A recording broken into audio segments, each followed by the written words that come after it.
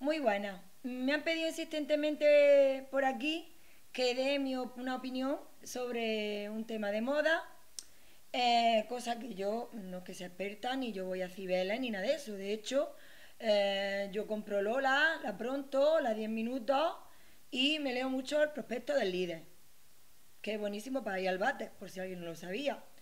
Eh, entonces estoy súper enganchadísima ya a eso, pero vaya que yo no que sepa nada de moda ni nada de esto. ¿Eh?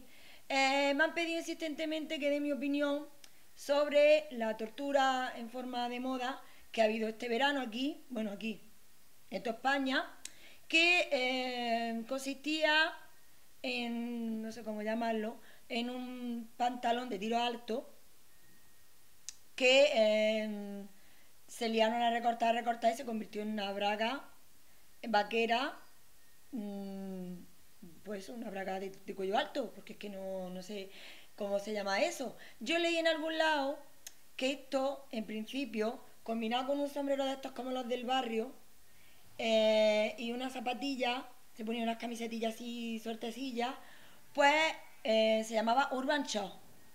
Pero esto, como todo, claro, degenera y se convirtió en una especie de chomichó o chochochó o, o tangachó o yo no sé cómo llamarlo. La verdad, una braga de cuello harto vaquera.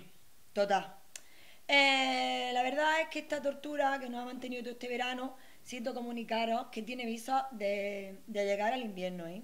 Ya he visto algunas con medias y esto tiene una punta que va a seguir para adelante, así que ya podemos ir buscando un psicólogo o algo, porque esto va para largo, ¿eh? El chomichá este, yo no creo personalmente que se lo haya inventado ningún diseñador, yo más bien creo que esto fue una criatura que le gustaban muchísimo sus pantalones, se equivocó, lo, tiró en una lavadora que no era, le cayó lejía y ella se lo a recortar, recortar, recortar hasta que lo dejó de esta manera. Luego, como la gente es muy envidiosa, pues la vio alguna vecina, le gustó y se lo copió. ¿eh? Y eso ya pues se extiende pues como el cólera, ¿no? Ya, mm, bueno, una cosa tremenda. Los chamichos estos que no le quedaban bien a nadie, por cierto, no, incluso a tías con un cuerpazo, no había manera de que eso le quedara bien a nadie.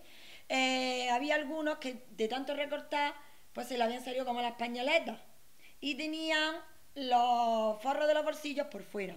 Que esa, dentro de lo que cabe, pues le hacía como una enaguilla, le daba menos el aire en el chuminillo y yo creo que habrán cogido menos cistitis que el resto, porque se han cogido infección fijo, ¿eh?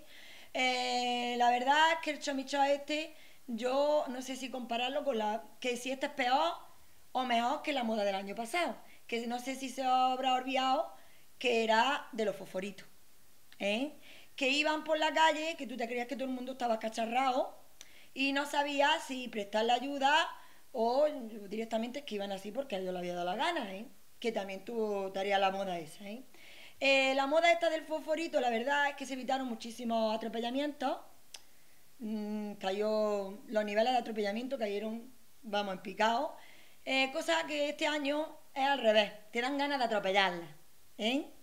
¿eh? yo la verdad es que no sé hasta qué punto hay que seguir la moda, pero si tú ves que eso te queda como un tiro mierda,